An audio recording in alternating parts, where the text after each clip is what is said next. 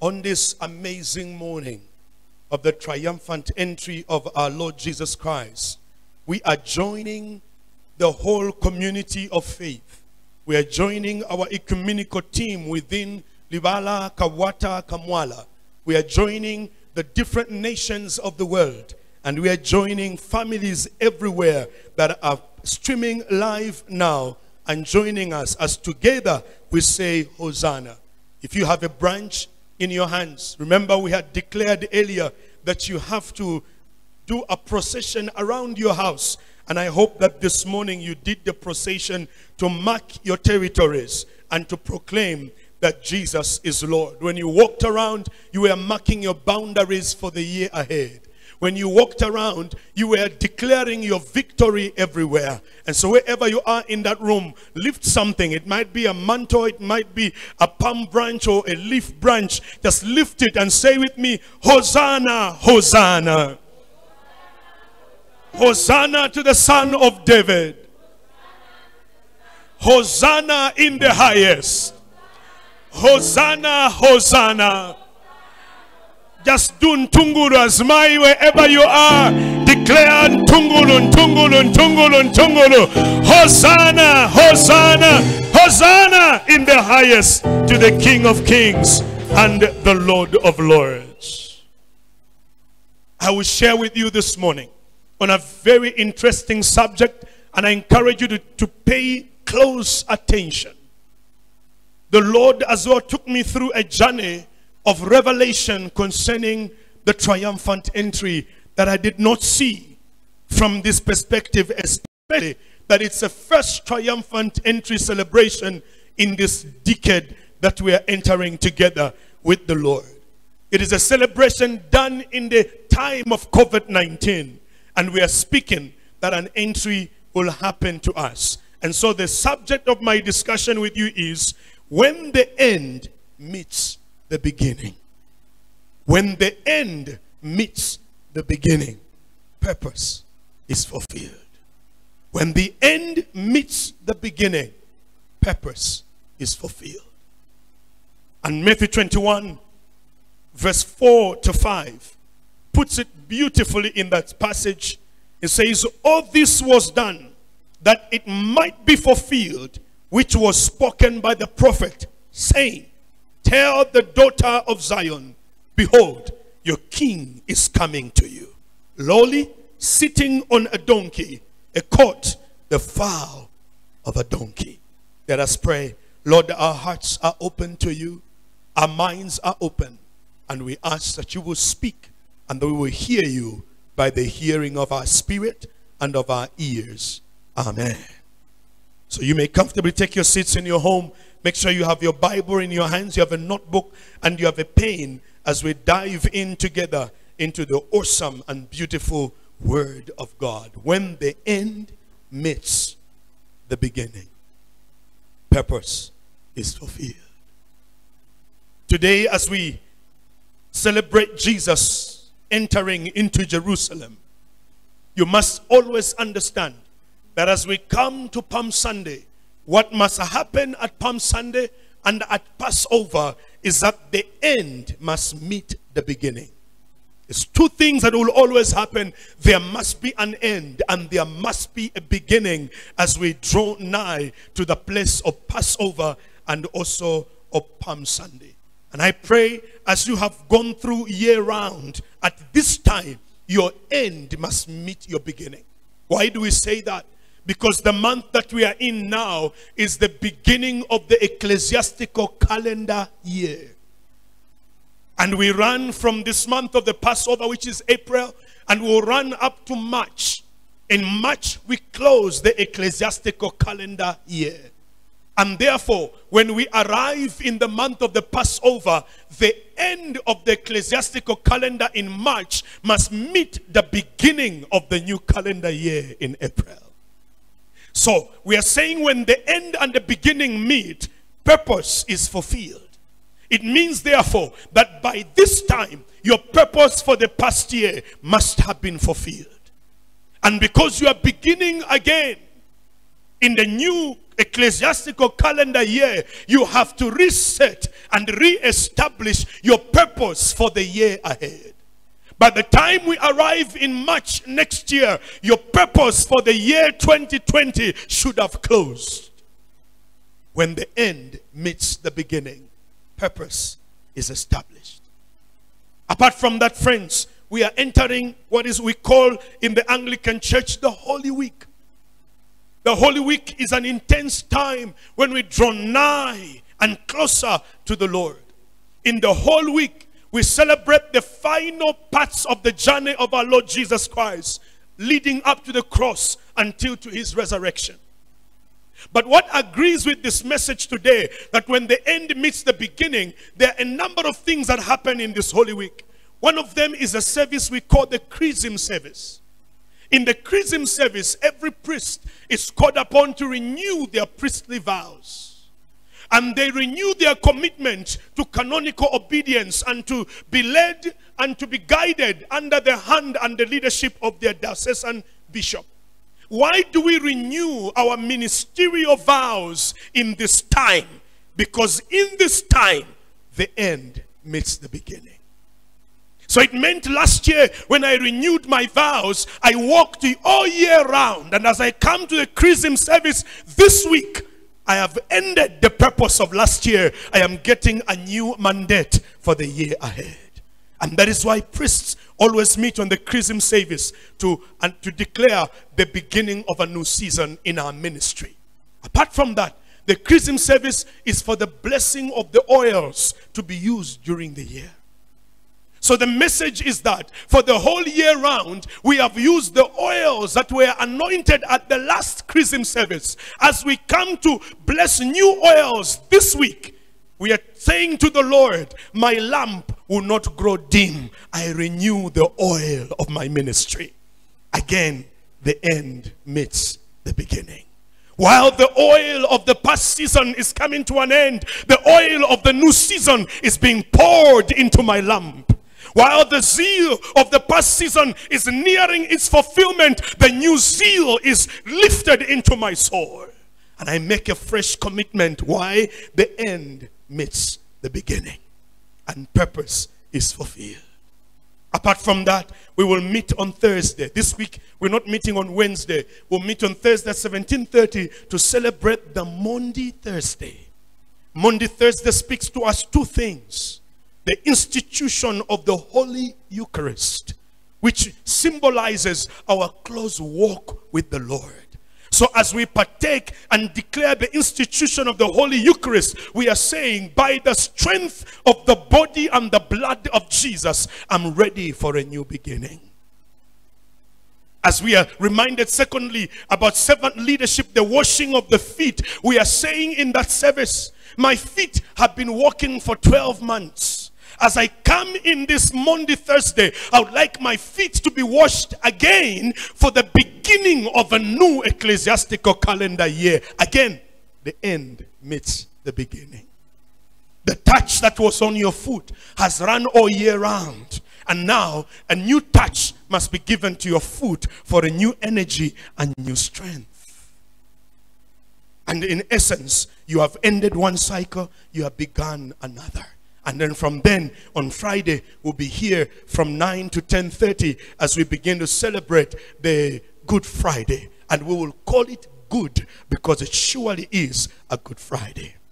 On Saturday from 18 hours, the service of the light.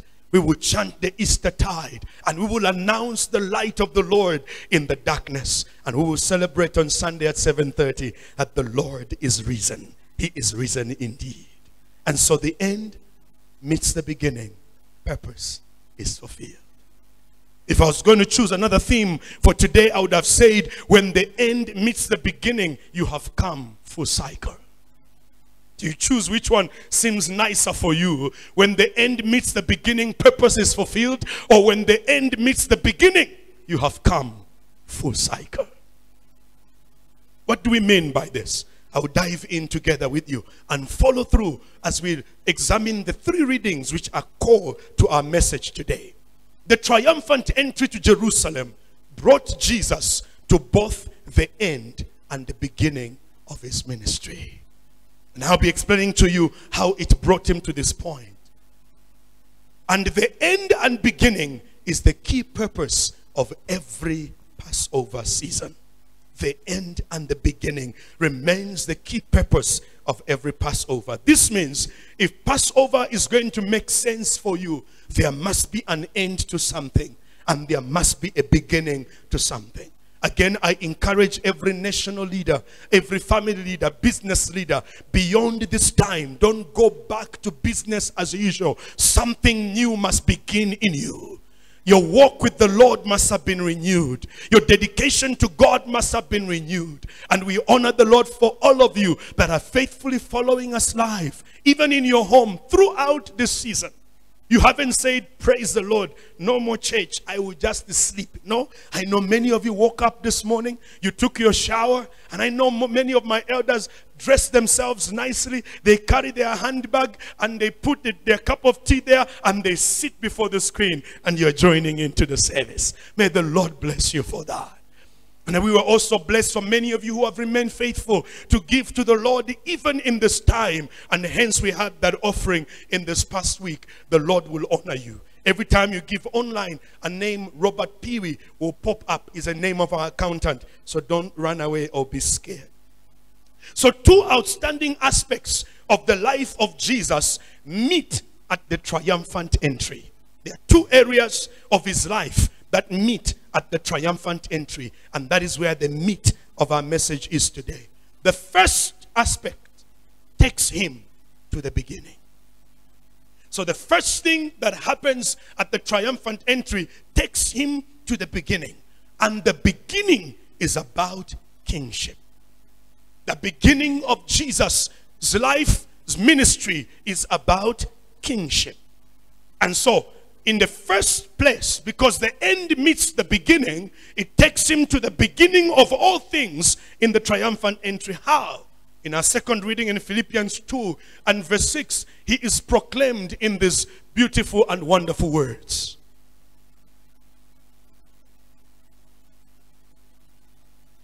Who existing in the form of God did not consider equality with God as something to be used for his own advantage. Meaning that right from the beginning, he existed equal with God. That is why we pray in the name of God the Father, the Son, and the Holy Spirit, expressing themselves in three and yet one God. So he was standing in the place of kingship, equal with God. So that is the first thing. In our gospel reading, Matthew 21, verse 5 also affirms the same thing. Just the first part will come the second part later. He says, Tell daughters of Zion, see, your king is coming to you. Your king is coming to you. It is taking him to the beginning, to his kingship. He is he was equal with God. He is the king that is coming. John chapter 1, verse 1 to 3. If you're not sure about the beginning of Jesus, John puts it beautifully. Children like saying in the beginning. That I'll say in the beginning was the Word. And the Word was with God. And the Word was God. He was with God in the beginning. All things were created through him. And apart from him, not one thing was created that has been created. So again, it takes him to the beginning where he is the Alpha of everything else. And it is this beginning, the kingship, that he walked away from. He walked away from his kingship. And now in the triumphant entry, he is returning to back to his kingship. He walked away from kingship and he came and humbled himself for our salvation. In the triumphant entry, he begins to return to the place of his kingship. There are times when God wants you to fulfill something and he will make you walk away from something that you may fulfill his purpose and return to what you walked away from. I think you have seen people in, in conversations. They'll be talking about something and they're trying to make a point. They abandon what they were talking about. They use another route in the end to explain what they were trying to explain in the beginning. But if you're not very focused, when you use a different route, you even forget in the end what you were trying to say at the beginning. When you're traveling to another city, sometimes the road may have difficulties. You may use a different route. You divert, you abandon the original route that you may use another route. In the end, you must end up at the beginning of what you were supposed to do. So Jesus walked away intentionally from his kingship that he may render service to humanity. And I pray today, whatever you walked away from, for the sake of saving other human beings, may the Lord show you the way back to that place. If you had walked away from your family because you were trying to make ends meet, and so you're not spending time with your house, now in this time of being in the house, the Lord is taking you back to what you walked away from. So you see, this stay at home makes a lot of sense now. He's taking you back to what you walked away from. And so Jesus is going back to his kingship. The second aspect in the triumphant entry takes him to the end. So the first aspect to his kingship. The second aspect to the end. The end is his servanthood. The end is his servanthood. And Philippians 2 verse 8. Again, a second reading puts it very clearly in this way. He humbled himself by becoming obedient to the point of death, even to death on the cross. So he went to the second aspect of his life, servanthood.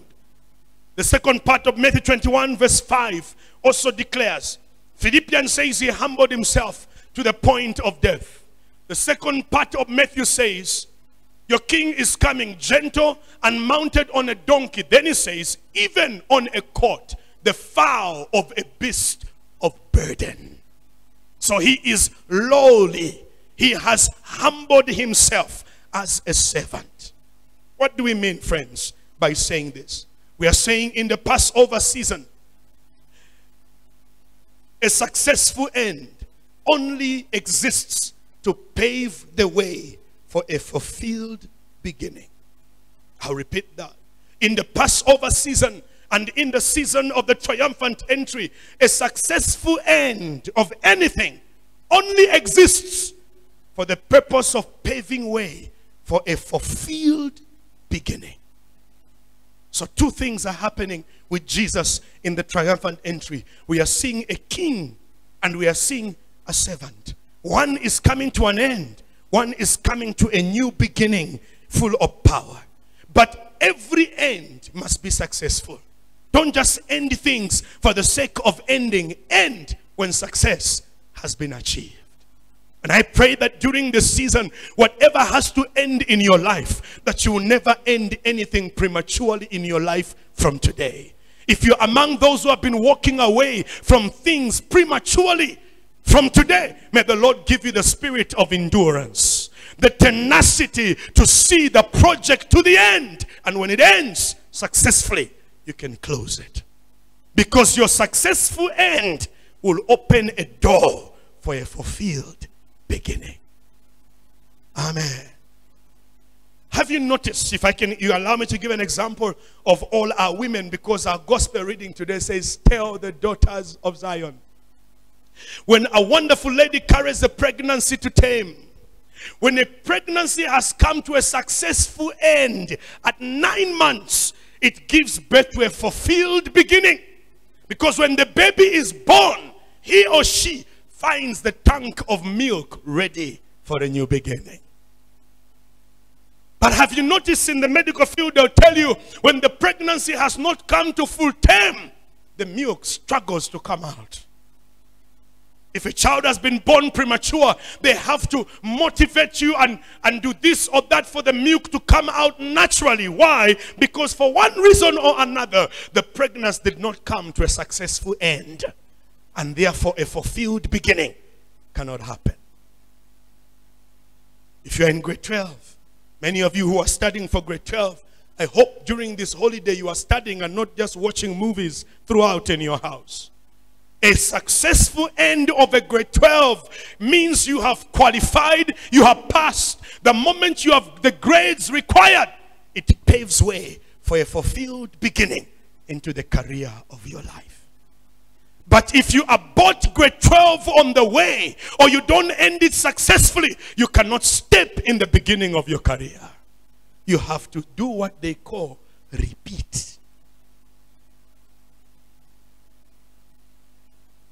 You ask the children of Israel, they know what it means to repeat. Because God told them you will reach the promised land in 40 days. But they did not successfully end their journey because fear crippled them. And they had to do a repeat. And a godly repeat changes from 40 days to 40 years. I don't know how many of you will stay in grade 12 for 40 years because of not ending successfully. And I pray that you, you, your life will not be postponed for anything. Your entry into your promised land will not be postponed for anything. That your success to a new beginning will not be postponed for any reason. And therefore, a successful end paves way for a fulfilled beginning. When the end meets the beginning, you have come full cycle. Now, look at Philippians, how he confirms the good beginning when you end well. Philippians 2, verse 9 up to 11 says, For this reason, now begin it a bit higher so people can see where we are coming from. He says he humbled himself by becoming obedient to the point of death, even death on the cross, successful end. Do you remember the Garden of Gethsemane when we come on Friday? I'll remind you, Lord, if it is possible, let this cup bypass me. He was about to abort and unsuccessfully end his mission. And he said, Lord, not my will, but your will be done. For this cause I was born. And he successfully ended his ministry on earth. And that is why Palm Sunday leads him to a successful end so he can begin. Now, after he humbles and dies on the cross, look at the fulfilled beginning that begins. For this reason, praise the Lord. For this reason, God also highly exalted him and gave him the name that is above every name. For this reason, what reason? For successfully ending the previous season for concluding successfully, God gave him a name above every name. Not only that, look at the decorations of this name. So that at the name of Jesus, every knee should bow of those who are in heaven. In case the angels were becoming too proud and thought Jesus is too low, dying on the cross, he says, At the mention of his name, even you in heaven shall bow and everyone on earth shall bow. And everyone under the earth, in case the fish thought they could not bow to the name of Jesus. And that is why when he was dying on the cross, graves opened to command everyone to bow, even death bowed. Today, I command the death that is coming prematurely into your life to to the name of Jesus. Any sin, disease, or sickness knocking at your door prematurely to rob you of a successful end, I rebuke it now in the name of Jesus Christ. And we release you from its dominion in Jesus' name. Somebody say, Amen. And so he says, and every tongue should confess that Jesus is Lord. Jesus Christ is Lord to the glory of God the Father. When the end meets the beginning, purpose is fulfilled. When the end meets the beginning, you come full cycle. Jesus came full cycle and now he was ready to be given an exalted name. John chapter 1 verse 14 gives us the two things again together. The end and the beginning. Verse 14, it says, The word became flesh and took resident among us. Servanthood. And not only that, we observed his glory, the glory as of the one and only Son of God, full of grace and truth, kingship. So the word became flesh. And because he successfully dwelt among us, he revealed the glory like never before. Wherever you are, as long as you are successfully serving God in your career, you are successfully serving God in your family, may the glory locked on the inside of you be manifested among those around you. May it be said about you, we beheld the glory of God upon this man and upon this woman, upon the preacher, the marketeer, the political leader. We beheld the glory of God because you have successfully dwelt among others. Now, listen to this. And this will help you understand further. Within Jesus sat the king and the servant. Within Jesus sat the king and the servant. And that is why the triumphant entry brings the two together. It is only at the triumphant entry when you see the servant and the king arrive together. And that's what makes this place a great place. Within you, friend, there is a king. Within you, there is a servant. Now, you will notice that Jesus did not begin his ministry until he was 30 years old. Why? I believe the 30 years of Jesus' training taught him when to manifest one of the two. I say it again. The 30 years of Jesus' training on earth taught him when to manifest the servant and when to manifest the leader or the king. You ask yourself, why did Jesus have to wait for 30 years before he entered into his priestly office? Why not at 16? He would have more time. But he waited for 30 years and only did ministry for three years. And the three year ministry has had an impact for over 2,000 years. Why? The 30 years of training taught him when to manifest the servant and when to rightly manifest the king. And that is a lesson to many of us today in this Palm Sunday celebration. You've got to learn when to manifest the servant in you and when to manifest the king in you.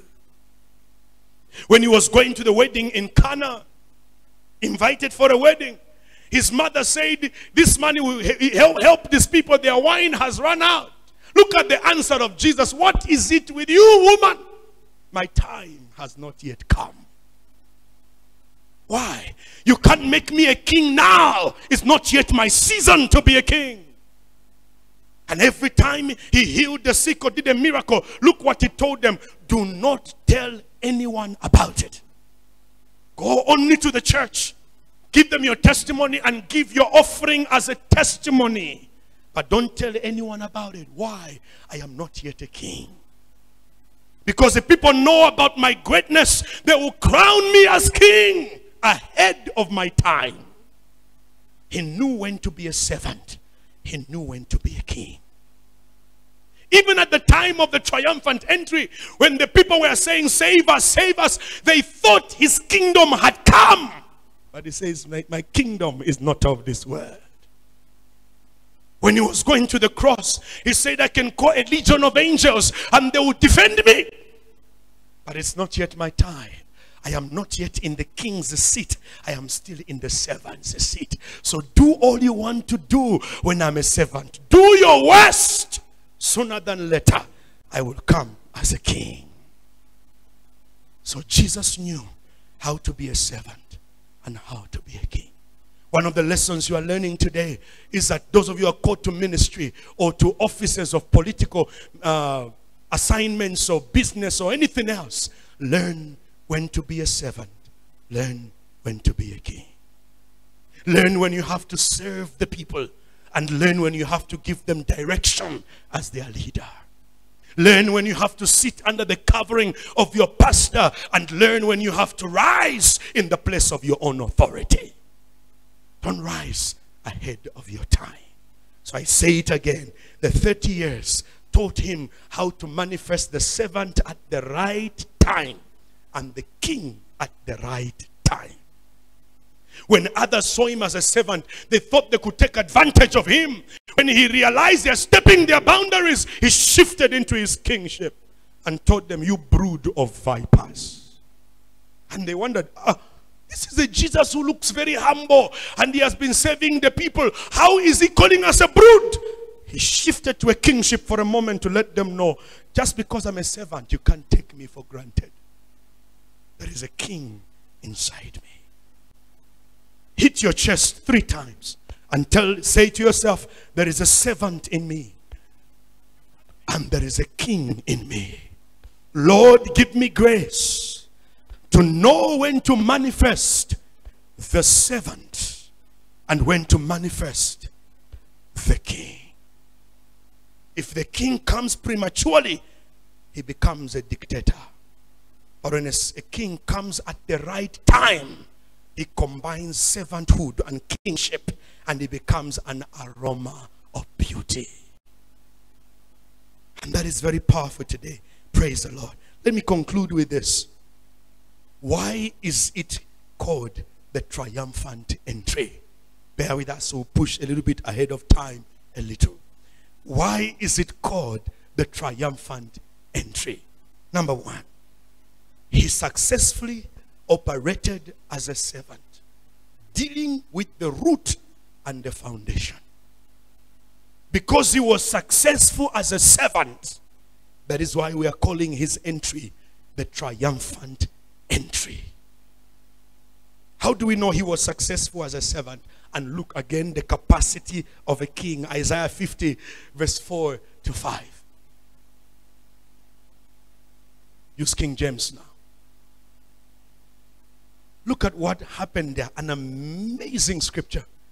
The Lord has given me the tongue of the learned that I should know how to speak a word in season to him that is weary. He awakeneth morning by morning. He awakeneth my ear to hear as the learned. Verse 5. The Lord has opened my ear, and I was not rebellious, neither turned away my back. So you see the servant in not turning away his back because he's serving, but you see the king in having the tongue of the learned. He has the tongue of the learned, but when he come among the weary, he does not boast. He is not pompous. He knows the word to speak in season. So he knows, even if he's among the highest learned, he knows when to be a servant and when to be a king. So he says, He's given me a word for the weary. So I can speak to the weary. But my tongue is of the learned. He didn't go among them and he says, You know, I am flabbergasted. As I stand perpendicular to the floor and parallel to the wall, because you know I am of the learned in these days of quarantinosity. No. Even though he was among the learned, he knew how to speak to the weary. The weary were very low. He lowered himself. So he successfully operated as a servant, he dealing with the root and the foundation. And how do we know? The other way we know, his last act on the side of servanthood was to touch the lowest of humanity. And the lowest part of humanity is their feet. As he was wrapping up his servanthood, getting ready to enter his kingship, he said to seal it up. Let me touch the lowest part of humanity, the feet. And before that Passover in John 13, he washed their feet. I want to say much on that one. Thursday. Join us on Thursday. John 13, 3 to 5. Jesus, knowing that the Father had given all things into his hands. This talks about what? Kingship. Kingship. All things are in his hands. And that he was come from God and went to God. He riseth from supper and laid aside his garment Meaning, as a king, he laid aside his kingship. Look at that. After he lays aside his kingship, he took a towel and girded himself in servanthood. In Jesus sat the king and the servant. Praise the Lord. Somebody say, Praise the Lord today. So he takes up the towel as a servant when he puts aside the kingship. And after that, he poureth water into a basin. He was not like Father Bob who says, Santos, can I have a basin? Pour water there. He pours himself the water. And he began to wash the disciples' feet and to wipe them with the towel wherewith he was kidded. He touches the lowest part. But that lowest part was not for no reason. That is why this triumphant entry is crucial, friends. That lowest part. What was Jesus doing? As we go to the next slide, he was harvesting and restoring the glory of humanity. He was harvesting and restoring the glory of humanity. Because the glory of any human being is, is in, in their footstep. When you stand, if you are able to stand where you are, you will notice the moment you stand, the whole weight of your life ends up on your feet. The weight of your degrees ends up on your feet. The weight of your money ends up on your feet. The weight of your talents ends up on your feet. The weight of your intellect ends up on your feet. Your feet are the last things to touch the earth. And Jesus sat at the feet of his disciples to wash them. He was harvesting and restoring the glory of humanity. Give God a clap of praise if you can there. How was he restoring the glory of humanity? Luke 19, verse 10. I need to push, I'm running out of time. Luke 19 and verse 10. He beautifully says, Luke 19 and verse 10 For the Son of Man has come to seek and save that which was lost. The funny thing in this message is that he is looking for what was lost in the feet of the people. Why is he looking at it in the feet of the people? Genesis chapter 3, verse 15. This is what explains why he is looking for the glory in the feet of the people. Says, I will put enmity between thee and the woman, and between thy seed and her seed. He shall bruise thy head, and thou shalt bruise his heel in the Garden of Eden, Satan was bruising the heel of humanity and took the glory of human beings from their feet. Why did a snake hit their head? Why did a snake hit their heart? He was hitting the heel. Because in the heel, in our youthful language, we call it kaskonki in the heel is the glory of the whole body. So when the enemy struck their heel, he took away the glory of a human being. That is why Adam and Eve began to hide. Because the glory was not in them. All have sinned and fallen short of the glory of God. If you're fallen short of the glory, where is the glory? Somebody struck your foot where the glory is. And Jesus, before he goes to the cross, he says, Let me go back to your feet and restore the glory that Satan stole from you. I am touching your feet, I am restoring the glory. And therefore, he touched their feet and restored the glory. Hallelujah I feel his presence today. He is restoring your glory.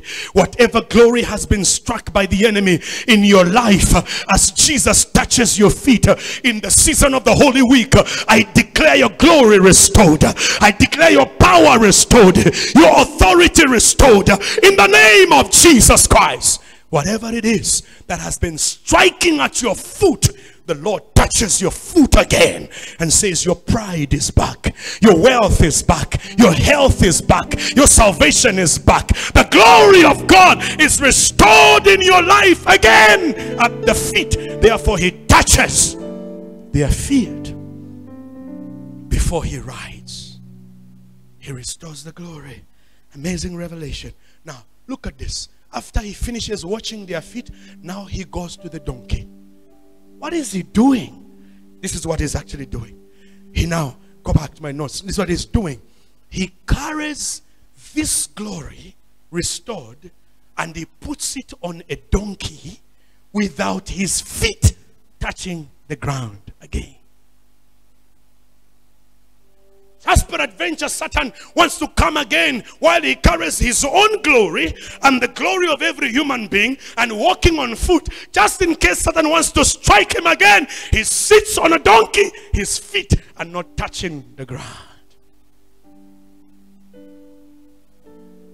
He is declaring there, the soil will not define me again. The fall of man will not define me again. But as he sits on a donkey, he announces, I am a king. I am a king. I came down to restore your glory as a servant, but now I am carrying it as a king. And guess what? He was riding on the worship of the people, bringing their glory to the throne of God. Riding on a donkey. Jesus wasn't really riding on a donkey. He rode physically on a donkey.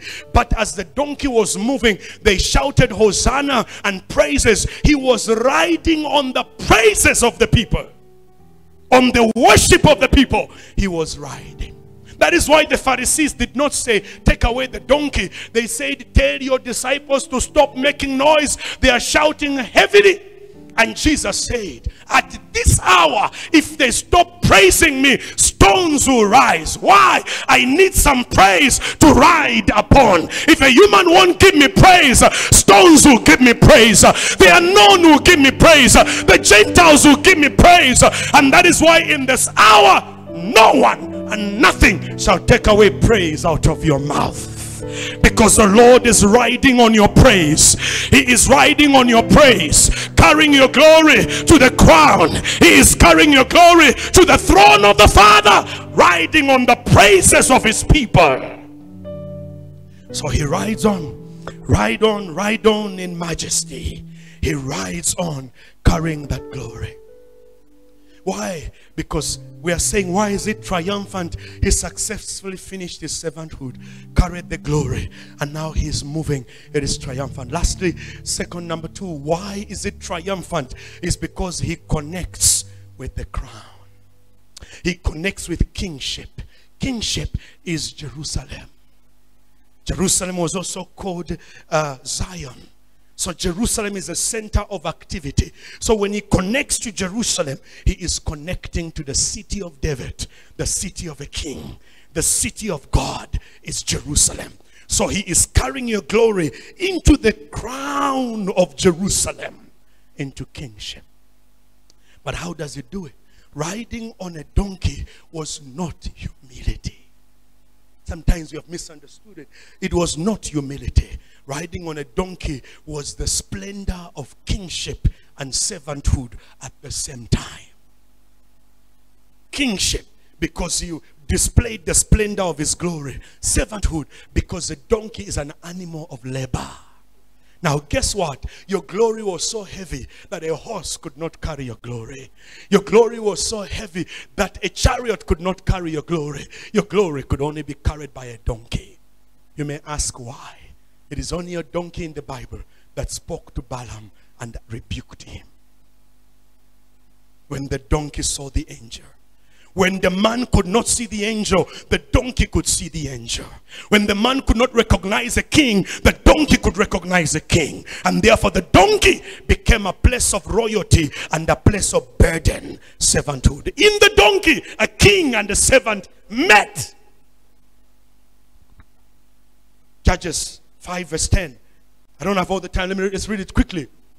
Judges 5 verse 10 says, Speak ye that ride. Give me the other simplified version. That is one of the words we have. Yes. You who ride on white donkeys, who sit on the saddle blankets, and who travel on the roads, give praise. That was the splendor of the king, traveling on roads, riding on a white donkey. And Zechariah 9, verse 9 to 10 fulfills that prophecy that he gave. Rejoice greatly, daughter of Jerusalem. Shout in triumph, daughter of Jerusalem. See, your king is coming to you. He is righteous and victorious, humble and riding on a donkey, on a cot, the foal of a donkey. And what will he do? I will cut off the chariot from Ephraim and the horse from Jerusalem. The bow of war will be removed, and he will proclaim peace and hence Jerusalem is a city of peace. Peace to the nations. His dominion will extend from sea to sea, from Euphrates River to the ends of the earth. And today we declare peace be still. In every nation struggling with COVID 19, peace be still. In every so called epicenter, peace be still. For the king is riding to the city of peace. And our friends, why was it a triumphant entry as we bring the two together? It is because, number three, he successfully touched the lowest and the highest in his life. And therefore, the entry is a triumphant. And the people who were praising Jesus knew prophetic praise.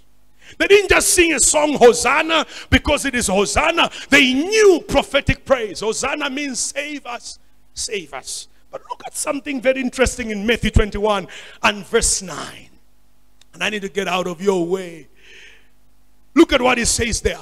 Then the crowds went ahead of him. Judah goes first. Praise goes first. No matter how much your praise shall be attacked this month, in the month of praise, may nothing steal away the praise out of your mouth. The people who went ahead of him and those who followed him kept on shouting, Hosanna to the Son of David. Blessed is he who comes in the name of the Lord. Hosanna in the highest. I don't know if you see the prophetic praise there. Prophetic praise is that when they said Hosanna to the son of David, they were announcing him as a servant. As a servant who came down in the name of the Lord. Blessed is he who comes from heaven, who comes from kingship among men in the name of the Lord. They were announcing him as a servant. Hosanna to the son of David. But they did not end there. Then they announced him also. Hosanna in the highest heaven. They announced him as a king. So we announce you as a servant. We announce you as a king. We declare Hosanna as a servant and Hosanna as a king. And successfully, he touched the lowest and the highest. That is why it is a triumphant entry. He walked among the lowly, he overcame. He walked among the great and never considered equality with God as anything to boast about. He conquered even in greatness.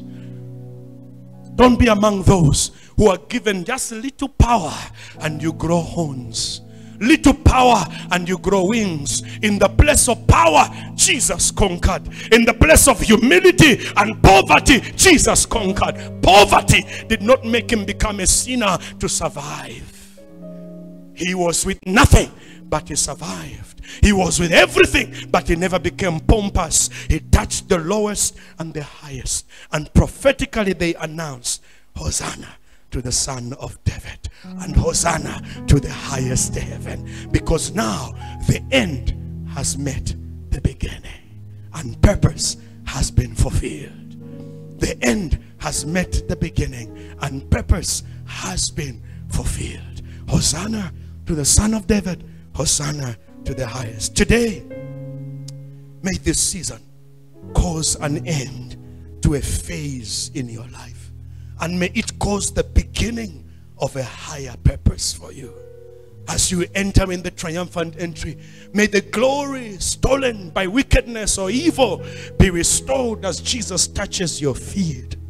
May your loneliness, your rejection be touched as he affects the lowly as a servant.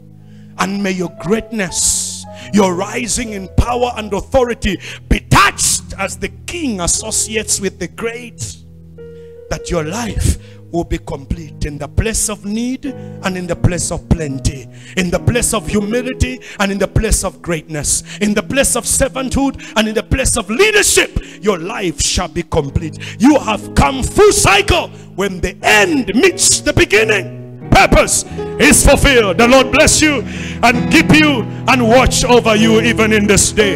Give him a clap of praise if you can this morning. Wonderful. Wonderful. To him be all the glory. To him be all the praise. To him be all the honor. As we pray this morning, I wanted to ask God, I hope you have finished the purpose of your last year that you can begin the ecclesiastical calendar of the new season. And as you enter this new ecclesiastical year, tell God, let me know exactly what I'm entering this year for. That when I walk in it successfully at the end, my end shall meet my beginning, and I will have come full cycle. Ask the Lord and pray that any glory that has been taken away from you because of mistakes you could have made yourselves or because of something people did to you unfairly, may that glory be restored by the Lord. May the same God who rides with you in the lower place ride with you to the highest place. And notice how he enters Jerusalem, the common people, the lowest of people. Others were scared to ever enter Jerusalem but because of Jesus, some of them for the first time entered Jerusalem. They entered the place of greatness. Today, as you listen, wherever you are, humble as you are, serving God faithfully, may the Lord carry you to the place of greatness. And from the place of greatness, begin again as a servant and serve the people. When the end meets the beginning, purpose is fulfilled. Father, I thank you for everyone today that is out there. In case you lost your sense of purpose, your life is just drifting with the wind, left, right, and center. Anything carries you. You have no anchor in your life. Say with me, Heavenly Father, just as Jesus had purpose, I want to rediscover my purpose. Forgive me for my sins for running away from my purpose, for thinking I was clever in my own understanding. Have mercy on me. I return home. Wash me in your blood. Clean me again as you cleanse the disciples. Restore the glory of my life. That Satan will not strike my heel, but I will bruise his head. The kingship he has stolen from me when I bruise his head, I will reclaim the kingship. I receive you as my Savior and as my Lord. I rededicate my life to you. Walk with me, oh God, in Jesus' name. And I declare restoration in your life today. I declare the glory the enemy took away from you. As you crush his head, you will restore the crown into your life and that you will honor Jesus by that to the glory of God. Amen and amen and amen. Give God a clap of praise if you can today. Remember on Thursday at 17:30 you are joining us again. And now I encourage you to prepare your offering as we give to the Lord, thanking him for walking with the king and with a servant within himself and knowing exactly when to release a king and when to release a servant. We want to give him an offering of thanksgiving. The people of his time took their clothes and put them on a donkey. They laid them on the streets for the king to ride. Take your offering. Let the king ride in the praises of your offering. The screen will have the means you can give electronically or if you want to come physically to church anytime the accounts window is open it has a, a sign accounts window, offering window, it will always be open. Drop your envelope there, mark it with your name and your phone number so they can tell you that they have received your offering to the glory of God. And where you are in your home, be upstanding. As your end meets your beginning and purpose is fulfilled, the peace of the Lord be with you always. Say to anyone near you, peace be with you. Peace be with you. Peace be with you. Peace be with you.